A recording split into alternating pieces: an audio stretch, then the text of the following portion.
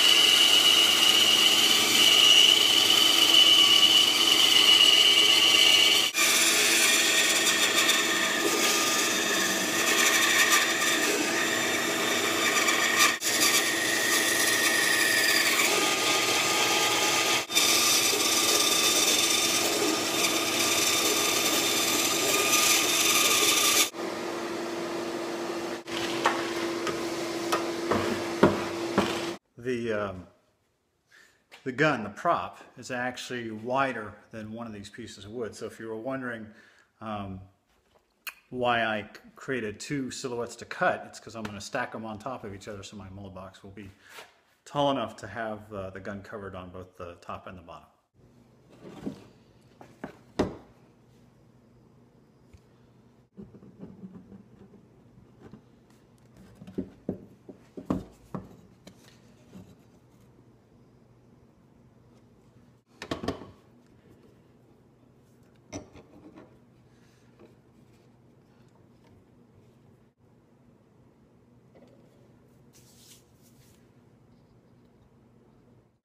Last project for the night is I thought I'd make a couple of um, batarangs or some of the other bat weapons that were used in um, Batman Begins and, uh, and some of the subsequent Nolan movies. So uh, what I've done is taken some spray adhesive and uh, uh created a couple paper templates, put one on some uh, scrap uh, styrene and some one on some scrap thin MDF and I'll cut those out on a scroll saw and see what we get. Uh, the small one is about four and a half inches wide and about an inch and a half deep. And uh, this one is closer to um, seven and a quarter inches wide and about two and a half deep. Let's do some cutting to see what we can come up with.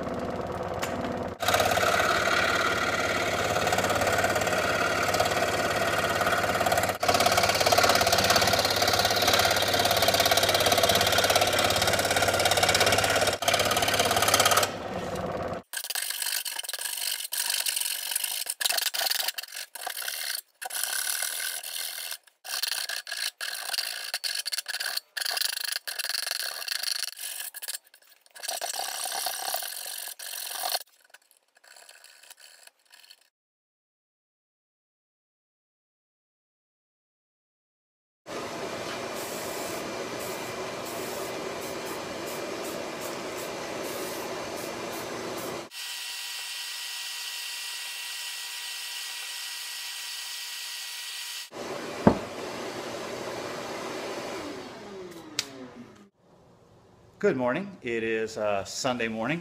After I finished taping last night, I added a few more layers of primer to the batarangs and did some sanding in between. So they're looking pretty good. I think I'm at the point now where I can do a little bit of wet sanding on them and uh, see what kind of results I get.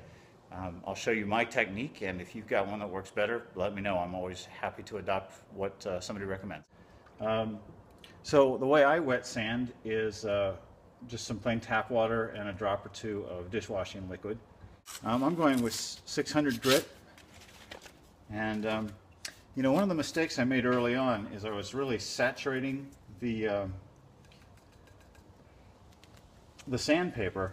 And when you're wet sanding MDF, if you get crazy with the, uh, the water, the MDF is going to suck it up and it's going to start to swell. So you need to be careful that you um, are smart with it and you don't cause yourself some problems. At this point, there's probably five or six coats of primer on here, so I don't really know if the camera can any see any real significant difference to the sanded areas versus the non, you know, non-wet sanded areas.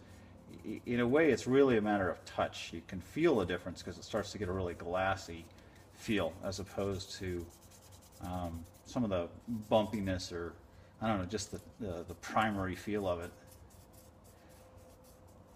I've had a couple times when I created molds where the, uh, the silicone didn't cure properly in certain parts of the um, on certain parts of the buck on the original. And um, I, I, realized there was a couple reasons for that. Uh, one is uh, oftentimes I like to paint the originals the way the finished prop will look just because I want to see what it's going to look like. And uh, a lot of my props are supposed to be metal so I'll use um, chrome or silver spray paint. And I'm pretty sure there's a chemical in there um, that reacts with the silicone that causes problems. So I don't do that anymore. And then um,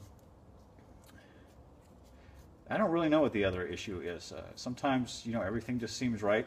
Uh, sometimes I'll be making a new mold uh, for something that I've molded and casted in the past. Never had a problem. And again, I get this jelly-like goo instead of cured silicone. Um, but what I read and seems to work well for me is if you uh, hit both of these or hit your piece with a light coat of lacquer, um, that will keep you from having problems uh, with reactions to the silicone and it's it's worked great. Uh, the only thing to be really careful about with, um, the lacquer is that uh, if you go heavy you'll get drips and um, because I'm using um, spray paint so I'm using a different type of chemical. You just want to go really light so you don't get any reactions. You don't want to get orange peeling, which um, if you're not familiar with it, it's just these tiny cracks in the paint. Looks like the texture of the skin of an orange, and they are just killer to get rid of once you start getting them.